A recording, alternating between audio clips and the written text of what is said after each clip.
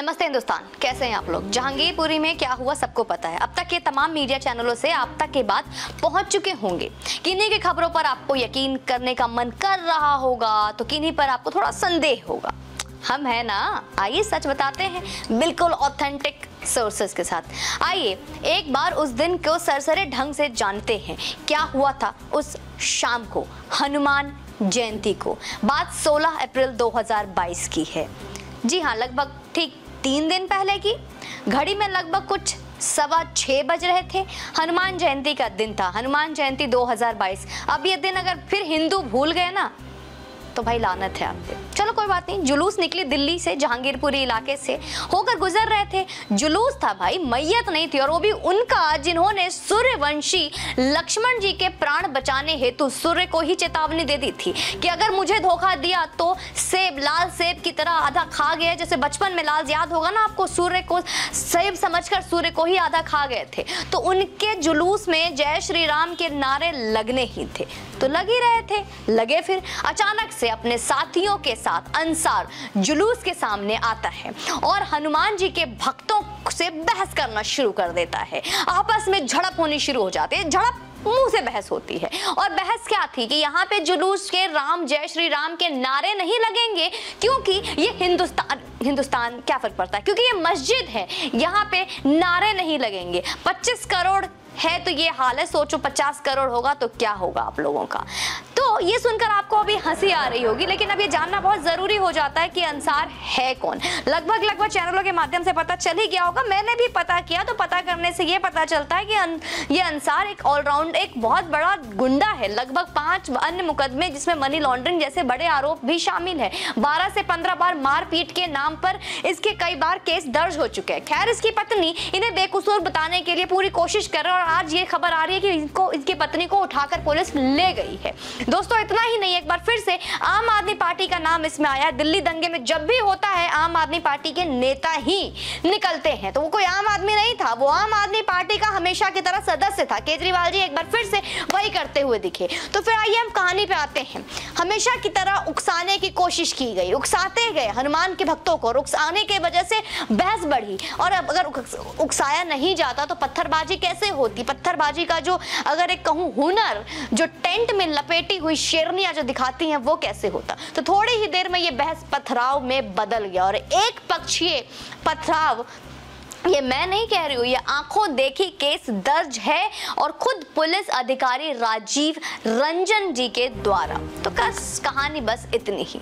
Delhi police ने जिन्हें गिरफ़्तार किया, उसका नाम मैं आपको पहले बता चुकी हूँ। लगभग चौदह नाम, जिसमें बड़े अच्छे अच्छे नाम भी आए हैं। सलीम उर्फ़ चिकना और चिकना की बहुत चिकनाहट के साथ धुलाई हो चुकी है। उनकी हालत के वीडियो भी सामने आए हैं। कुछ अठारह, उन्नीस, छब्बीस अट्ठाईस, इक्कीस, बाईस, अकरम बाईस साल, इम्तियाज़ आया उन्नीस साल, मोहम्मद अली सत्ताईस सत्ताईस साल।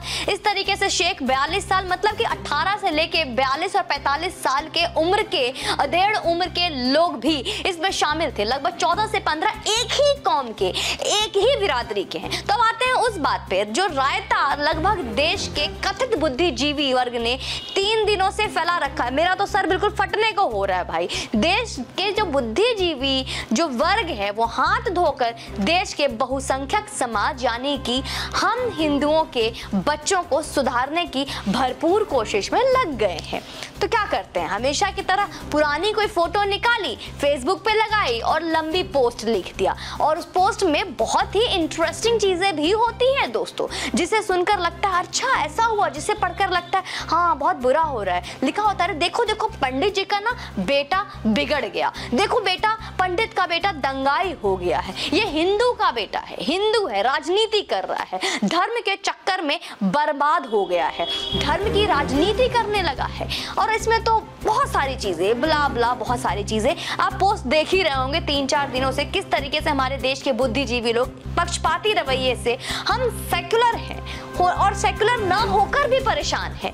इतने महान महान बातें वो लिख रहे हैं और हम पे रिसर्च कर रहे हैं। भाई, बुद्धिजीवी अगर हिंदू के बच्चों के लिए इतना परेशान हो तो अब्दुल मियाँ और जुम्मन मियाँ के बेटे के साथ ये दोगलापन क्यों करते हैं? उनको क्यों नहीं अपने ज्ञान के गंगा में नहलाते हो? उनसे क्यों? क्या गिला, क्यों शिकवा, क्यों, किस बात का उनके साथ बेमानी हमारे देश के जो बुद्धिजीवी हैं, वो सारे अपने ज्ञान क्यों और क्यों हिंदू बच्चों को ही समझाया जाता है? उनको क्यों नहीं कहते, भाई, कि आई की तैयारी करो आई अरे क्यों कहोगे? क्योंकि उन्हें तो बड़े बड़े आई की तैयारी होने के बावजूद भी उन्हें जाके राम मंदिर में जाकर और गोरखनाथ के मठ मंदिर में जाकर गोलियाँ ही चलानी है।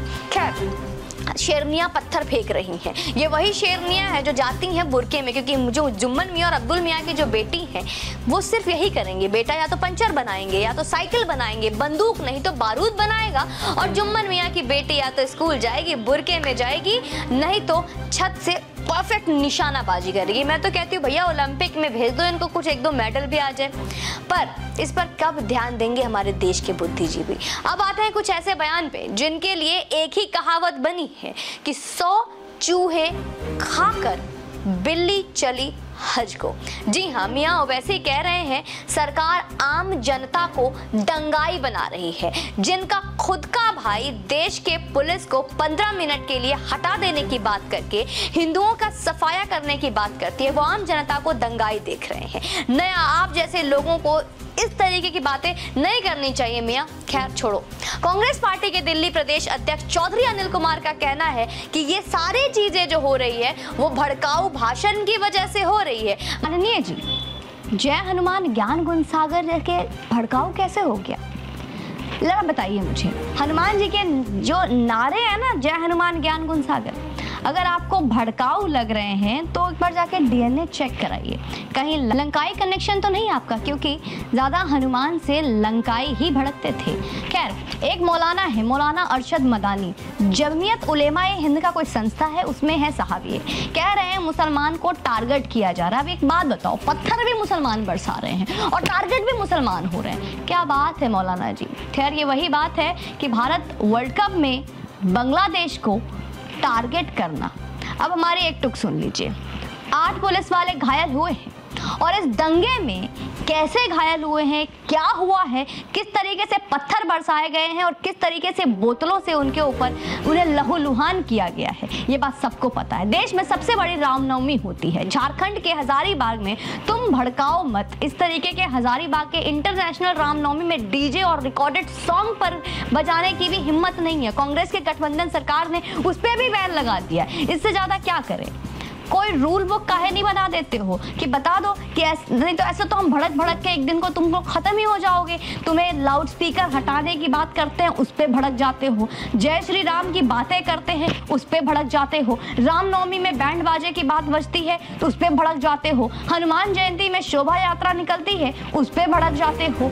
होली में रंग उड़ाए जाते हैं, उस पर भड़क जाते हैं। दीपावली में पटाखे फोड़ने की बात होती है तो धर्म खतरे में आ जाते हैं। तो आखिर आखिर एक बार रूल बुक बता के हमें बता दिया जाए कि आखिर ऐसा क्या करे बेचारे, बेबस सेकुलर भाईचारों का जो पूरा बोझ उठाने वाले हिंदू। आखिर ऐसा क्या करें और क्या ना करें जिससे आपका धर्म और आपका मज़हब और आप खतरे में ना आए और आपको डर का माहौल महसूस ना हो। आप बता दें, बाकी आम आदमी पार्टी पूरी तरीके से दिल्ली में पलायन करने के लिए लगा हुआ है। जहाँ पे जहांगीरपुरी में ये हमले हुए हैं दोस्तों, अगर आप देखेंगे तो रिपोर्ट के अनुसार से वहाँ सबसे ज़्यादा बांग्लादेशी रोहंग्या भरे हुए हैं। बांग्लादेशी रोहंग्या कहाँ से आए हैं? उन्हें कैसे घुसपैठियों को घुसाया गया है? कैसे उन्हें बसाया गया है? इन सब के पीछे किसका हाथ है? अगर दिल्ली वासियों को आज भी नहीं समझ में आ रहा। देशवासियों को, हिंदुओं को अगर आज भी नहीं समझ में आ रहा है तो उनके बेवकूफ़ी पर मुझे तरस भी आती है और हँसी भी आती है। आज जब तक हमारे घर में बम बारूद ना फूटे, तब तक हम नहीं उठेंगे, हम सोते रहेंगे। क्यों? क्योंकि हमारे बच्चे तो सुबह उठते हैं, स्कूल जाते हैं और मेरा पति घर से ऑफ़िस जाता है और घर आता है। मेरा परिवार, मेरा पिता बिल्कुल सुरक्षित है। समझे वो? जो हनुमान जयंती पे जुलूस निकालता है। समझे वो जो रामनवमी में बैंड बजाने की बात करता है। मेरा तो कल भी वैसा था, आज भी वैसा है। दीपावली में पटाखे फोड़ने की बात पे मना करोगे तो हम समझेंगे कि कल के डेट में प्रदूषण होगा तो हमारे बच्चे को ही फ़र्क पड़ेगा। तो नहीं फोड़ेंगे पटाखे। पानी की कमी होगी तो हमारे बच्चे पे इसका प्रभाव पड़ेगा। नहीं खेलते हैं होली, नहीं मनाते हैं हनुमान जयंती। क्या फ़र्क पड़ेगा? जिंगल बेल जिंगल बेल कर लेंगे, क्रिसमस मना लेंगे। क्या फ़र्क पड़ता है? घर में सेवैयां बनाओ, सेवैयां खाओ, पेट भी भरेगा, स्वाद भी आ जाएगा। तो ईद मना लेते हैं। कम से कम हमारे देश का एक विशेष समुदाय, एक कौम खतरे में तो नहीं आएगा। कर लो थोड़ा भाईचारा। क्या फ़र्क पड़ता है? ऐसे भाषा समझ में आती है तो यही समझ जाइए, क्योंकि सीधी बात तो आज तक किसी को समझ में आती नहीं। जय हिंद, वंदे मातरम।